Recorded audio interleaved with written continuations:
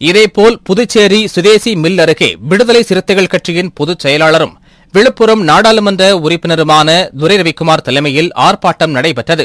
பின்னர் செய்தியாளர்களை சந்தித்த அவர் தமிழக முதல்வராக எடப்பாடி பழனிசாமி பதவியேற்ற நாளில் இருந்து தலித் மக்களுக்கு எதிரான வன்கொடுமை அதிகரித்துள்ளதாக குற்றம் சாட்டினார். காப்பாற்றாதே காப்பாற்றாதே. காப்பாற்றாதே காப்பாற்றாதே. வன்கொடுமை தடுப்புச் சட்டம் சரியாக நடைமுறைப்படுத்தப்படவில்லை என்பதை இரண்டு முறை நானே நாடாளுமன்றத்தில் பேசியிருக்கிறேன்.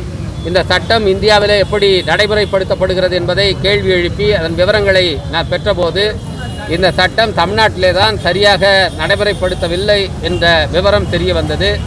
இதன்படி முதலமைச்சர் தலைமையிலே கூட்டப்பட வேண்டிய கூட்டங்கள் கடந்த நான்கு ஆண்டுகளாக கூட்டப்படவில்லை என்பதும் அதிலே தெரிய வந்தது. அந்த அளவுக்கு மோசமாக ஒரு சாதிபெறி பிடித்த அரசாக அதிமுக அரசு இருந்து வந்தது. இன்றைக்கு பதவி விட்டு போகிற நேரத்திலும் கூட இதே போன்ற ஒரு நிலையை அவர்கள் பின்பற்றி இருக்கிறார்கள். குறிப்பாக எடப்பாடி பழனிசாமி அவர்கள் தன்னுடைய சொந்த தொகுதியிலே பாமக ஆதரவு இருந்தால்தான் வெற்றி பெற முடியும் என்ற ஒரே காரணத்துக்காக தமிழ்நாடு முழுவதும் இன்றைக்கு ஒரு சாதிய மோதல்களை ஆதரித்து வருகிற ஒரு நிலைப்பாட்டை அவர் எடுத்திருக்கிறார். இது மிகவும் வேதனையும் அதிர்ச்சியும் அளிக்கிறது. திரு எடப்பாடி பழனிசாமி அவர்கள் உண்மையிலேயே இதிலே அவர்களுக்கு ஈடுபாடு இல்லை என்றால் ஒரு அரசியல் கட்சியாக இந்த இரண்டு படுகொலைகளையும் அவர் கண்டித்திருக்க வேண்டும் அதிமுக கண்டித்திருக்க வேண்டும்.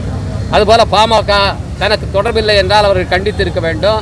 இதில் பாஜக இந்த கொலைக்கும் அவர்களுக்கும் இந்த தொடர்பில்லை என்றால் இந்த கொலையை அவர்கள் ஆதரிக்கவில்லை என்றால் அவர்களும் கண்டித்திருக்க வேண்டும். ஏன் இவர்களெல்லாம் இந்த இரண்டு படுகொலைகள் நடந்திருக்கிறதை கண்டிக்க கூட முன்வரவில்லை என்றால் இவர்கள் எல்லாம் அதை ஆதரிக்கிறார்கள் என்றுதான் பொருள். இவர்களுக்கு இதிலே தொடர்பு இருக்கிறது என்றுதான் நாங்கள் சந்தேகிக்கிறோம். எனவே இது தொடர்பாக பாரபட்சமற்ற ஒரு விசாரணையை காவல்துறை மேற்கொள்ள வேண்டும் என்று நாங்கள் வலியுறுத்துகிறோம்.